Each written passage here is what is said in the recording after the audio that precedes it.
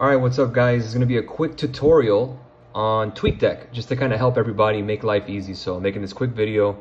As you can see, we have everything here, yada, yada. All right, first thing we're gonna do is we're gonna go to Google, right? We're gonna go to search web, we're gonna go to TweetDeck. And this is free guys, so make, just keep in mind, it's a free app, free tool. Go to TweetDeck, we're gonna click TweetDeck. And the first thing that comes up since I'm logged in is the platform. And what's cool is that you can actually create different columns. So this one, I went ahead, you know, I type whatever I want, yada, yada. So I already have here my Twitter. This is the basic Twitter platform that I use. So I'm gonna put test just to see, right? I press tweet and then where does tweet that? Right away, goes right here, test. And then you can actually put another column of notifications. Makes life easy. So again, you can always tweet if you want to, add us if you want, if you want to reply, and you can see all the tests. Everyone make sure that we have it. Again, TweetDeck, guys, is free. It's on the computer, makes life easy. Again, it's just another tool so you don't miss stuff. Twitter has been working for us. Guys, we've had our service now for almost five years, and Twitter has been great. And it's the easiest way to go since no issues with replies or or uh, a bunch of you know questions that maybe you'll miss stuff. Twitter is your friend. It, it's very, very simple, guys. I, I really, really recommend it, uh, Twitter. So again, if you want to use the app, again, what I can do, and I can show you, you can go to, say here, this is the GAR Capital. I went ahead and went to WSVN. Say I want to create their alerts.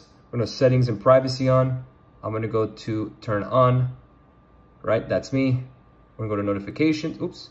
We're going to go to notifications on, tap it on, boom I'm gonna go up.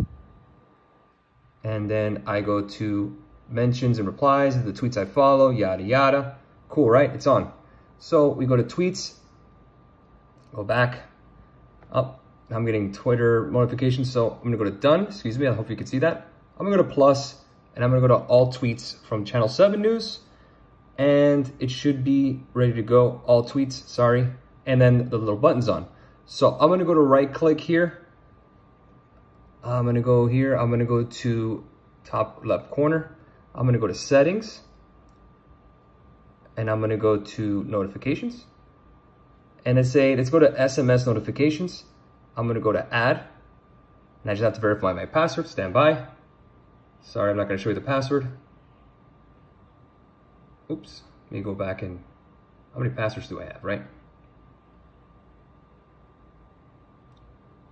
Oh man, how many passwords do I have? Stand by, guys. I know it's going to take a little bit. And the password is wrong.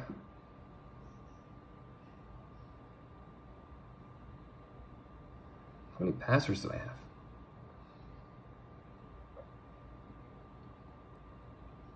Ah, forget it. I don't have the I don't have the right password. But literally, you could turn SMS notifications on. You just literally go to your thing, you go to settings, you go to uh, notifications, and you type in SMS notifications and you press add and it goes straight to your phone. If that makes life easier. But again, this is the way to do it. Go to muted, mute whoever you want, email notifications, which will take forever, push notifications straight to your phone, SMS notifications. So you could see, again, TweetDeck makes life easy. Everything is there.